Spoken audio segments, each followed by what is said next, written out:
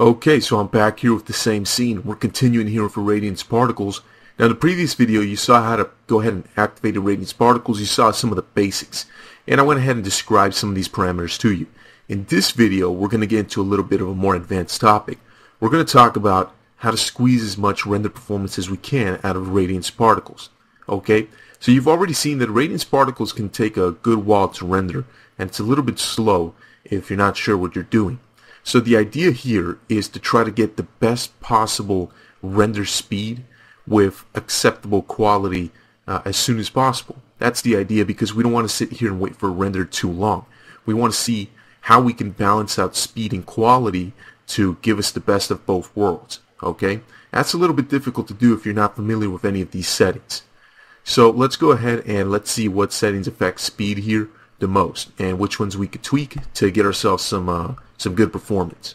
Okay, so we've already seen how long it takes to render out with 64 rays here and a density of 0.1.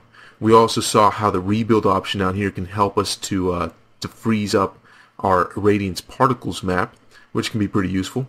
And we also saw how to use the output window here to uh, get some information here related to our render, which is extremely important. Now before we continue, there's a couple of key things that I want you to keep in mind as we work with irradiance particles. Number one, irradiance particles are view dependent, just like uh, when we were looking at importons, and very similar to final gathering. Okay, if I have rebuild turned off, essentially I'm freezing the irradiance particles map. I can rotate my camera around a bit and do a render from a different angle and what you're going to notice is that the irradiance particles don't get anything that's outside the view of the camera. We end up with a pretty uh, pretty bad result here, which is obviously no good. We can see that we end up with this nasty artifacting back here. That's because uh, radiance particles work with importons. Irradiance particles and importons are were designed for as an importance driven algorithm. So you can see that it didn't render out too nicely back here. And uh, over here, where the camera was able to uh, to capture some of that area, it did. Did a really good job. But right here, it didn't. So that's one thing you want to keep in mind. Let me go ahead and close that. Let me use the left bracket key a couple of times to go back to our previous view. There we go. Okay. And let me go ahead and bring back that render. So what are the two main things that are going to affect render speed as well as the render quality when using radiance particles? The first thing that's going to impact render time dramatically is the density up here for the importons. Right now it's set to 0.1, which isn't really a lot. Now, the default setting, if you remember, was 1. And that is overkill. That's just way too many importons, especially if you start using the max step setting and start bouncing some of those importons around in your scene. Now you're going to get yourself some really long render times. However, keep in mind that a good amount of density is needed of importons in order to get yourself a good irradiance particle render. So that's another key thing to keep in mind. Despite the fact that lots of importons at high density equals high render times, it also means better quality in the end for your irradiance particles. And the second setting that controls the speed and the quality of irradiance particles is the rays parameter down here. The lower the amount of rays, the lower the quality, but the faster the render. The higher the amount of rays, the higher the quality, but the slower the render is going to take. Okay, so it's very important to understand that.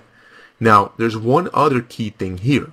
Since the rays parameter and the density parameter work together and can affect each other dramatically in terms of render times and quality, one question that you have to ask yourself is, well, what's going to give me a better and faster result? If I use a high density and a low number of rays, is that going to give me a great result fast? Or will using a low density and a high number of rays give me a great result fast? Hmm, that is a good question. And the truth is that you're going to be pretty surprised uh, when you see this. So let's go ahead and do a, a little experiment here. We're going to do a little test here to see which one renders the best and which one renders the fastest. Okay? So let's go ahead and do that. I'm going to turn rebuild on and I'm going to leave my rays set to 64. Now 64 is a very low number of rays. That's only good for preview rendering. You can't get away with uh, production render with 64 rays. Now the density is uh, is now set at 1.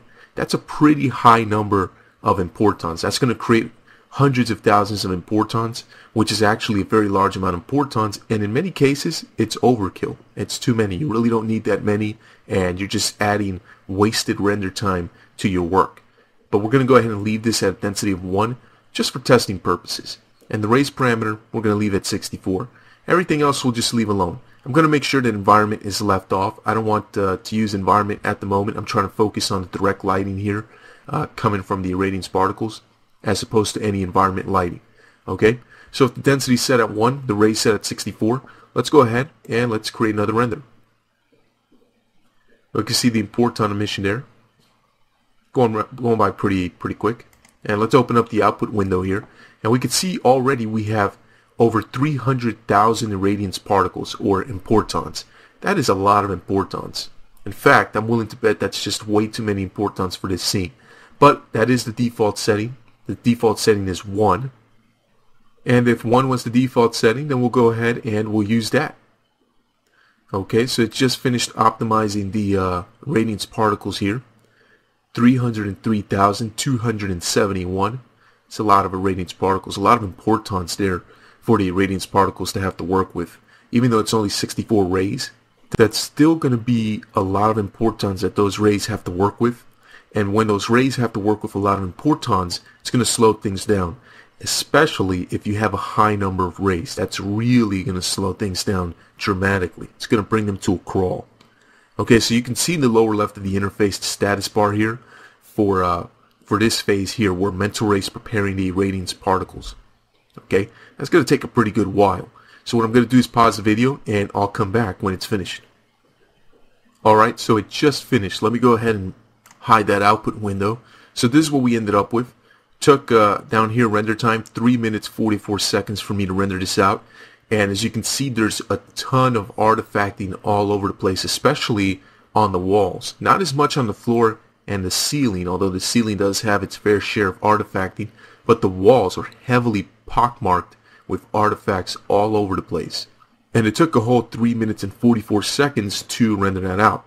Now overall that's not really a long time, but um, let's see if we can get that, uh, that time lowered. Now that was with a density of 1, which came out to over 300,000 importons, and a rays parameter of only 64. And because the rays parameter was set to only 64, that's the reason why we're getting all this artifacting. So to get rid of this artifacting, what we could do now is increase this amount of rays to a very high number, something like 500. The problem is, when you use 500 rays with a density of 1, this render time is going to shoot through the roof. Don't be surprised if you're here for about half an hour rendering out just the irradiance particles map with those settings. But that's not what we want to do. We don't want to do that because that's a big waste of time and uh, usually you have some client that needs the work done by a specific date. So what are we going to do about this? How can we solve this problem? Well, since high density and low rays equals long render times with bad quality, let's try low density. So let's try something like 0.1. And let's try a high number of rays. Let's try 500 rays. And uh, we'll go ahead and we'll render this out. But before I do, I'm going to save this image so I can compare and contrast later. I'm going to go ahead and render this out with only a density of 0.1. So it should be about 10% of the importons as there were before. Let's open up the output window, and there we go.